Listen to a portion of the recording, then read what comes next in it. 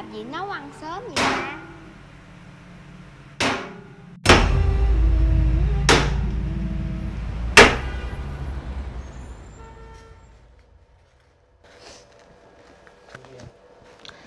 Em học nấu ăn từ khi nào vậy? Mấy cục thịt này là phải dùng dao lớn để chặt Làm sao em làm được?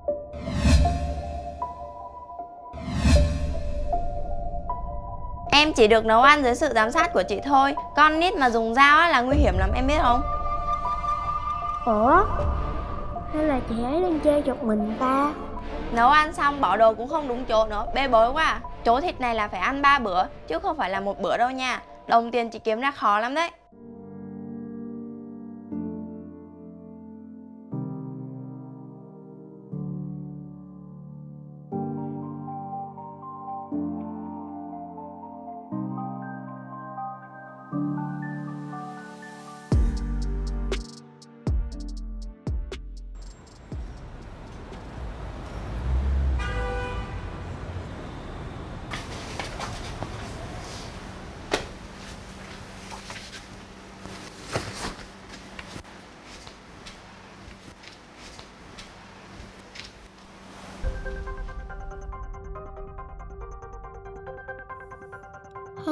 tôi còn sạch. Sao hôm nay lại có hình bút lông ta?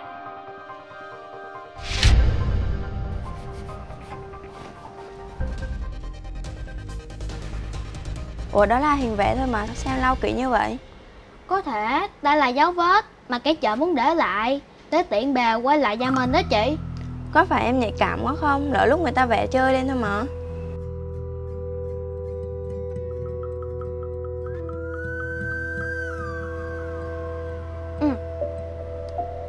một cách thử nữa.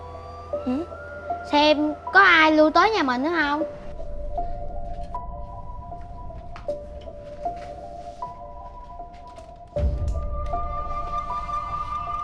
Khang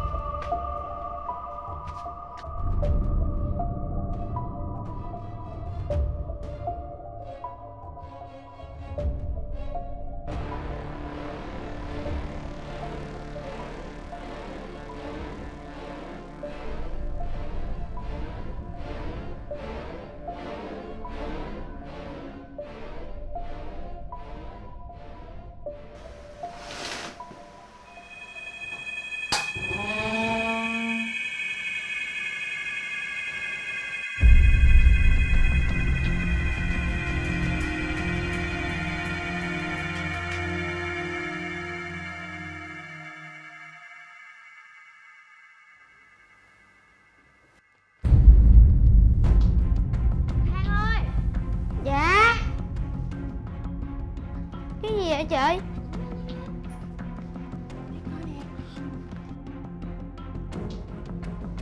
Thật ra trẻ này muốn gì? Có khi nào đó không phải là người không? Hay là tối nay hai chị em mình đừng có ngủ? Xem kìa ấy có lưu tới nữa không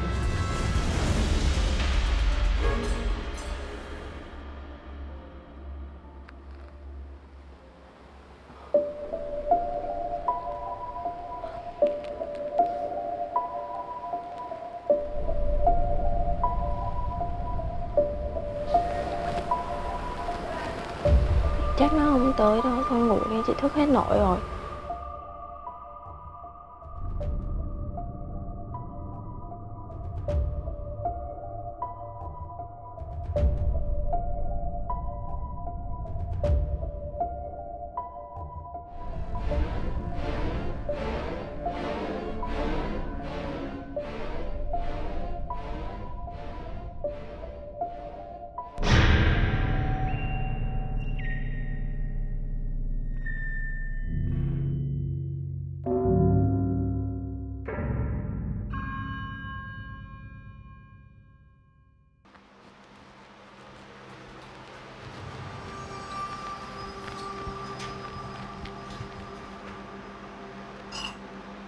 Nó lại tới nữa hả?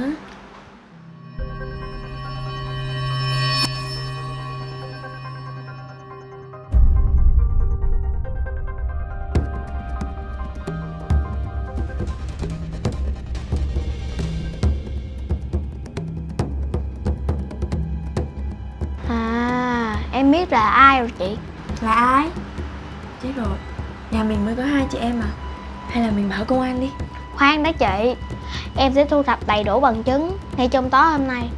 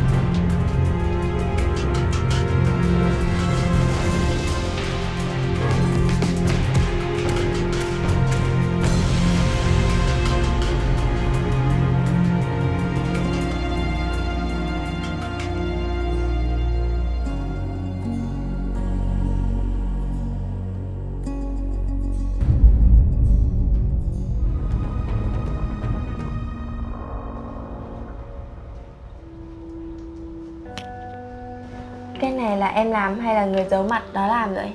Chị làm chứ ai? Không có giận bậy nha. Thì em biết chị không tin Nên em đã thu thập đầy đủ bằng chứng. Đây nè, để em mở cho chị xem. Đó.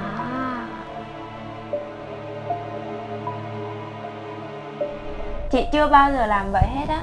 Người trong video đó chắc chắn không phải là chị.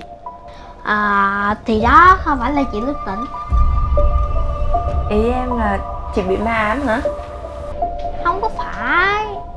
Là chị bị mộng du á. Mộng du? Ờ. Sao em biết? Thì đêm đầu tiên khoảng 4 giờ Em nghe tiếng cặn thịt và nấu ăn ở dưới bếp. Em nghĩ là chị Sáng hôm sau thì chị lại nói em nấu. Em cảm thấy rất kỳ lạ. Đêm thứ hai Lúc mà hai chị em mình thức Mọi thứ đều bình thường. Mà lúc hai chị em mình ngủ Mọi thứ lại bị xáo trộn Em thấy đôi giày của chị bị bẩn. Bút lông thì bị toét ngồi. Nên em nghĩ chị đã ra ngoài lúc em ngủ say. Nên em đã canh lúc chị hành động Để quay lại á. Vậy giờ phải làm sao? Lỡ lúc chị bị vậy chị dùng dao Làm tổn thương bản thân hay là người xung quanh thì sao? Dạo này em thấy chị lo âu về tiền bạc. Chắc chị bị stress nhiều á. Biết làm sao được Em có đọc con heo được 2 triệu Em cho chị hết luôn á. Em lấy đâu ra nhiều tiền vậy?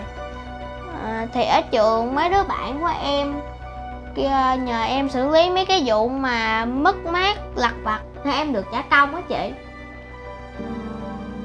Vậy cho chị mượn tiền để trả tiền điện với tiền nước chứ nha. Dạ chị cứ lấy mà xài. Tại em cũng chưa làm gì ra nhiều tiền để phụ chị Nên em cảm thấy có lỗi lắm Trách nhiệm của chị mà Cảm ơn chị đã luôn yêu thương, bảo bọc em. Mình là chị em mà Chị là người quan trọng nhất trong cuộc đời của em Nên chị ráng giữ gìn sức khỏe nha. Em đã tìm hiểu rồi Chị chỉ cần ăn uống, nghỉ ngơi điều độ và bớt lo toan Chị sẽ giảm được các cơn mộng du. Ừ, chị biết rồi. Em đã mượn tiền bác Thảo Hay chị đi bác sĩ nha Ờm, Để chị tính đã. Em còn tuổi ăn tuổi học mà nghĩ nhiều quá chị thấy thương lắm đó.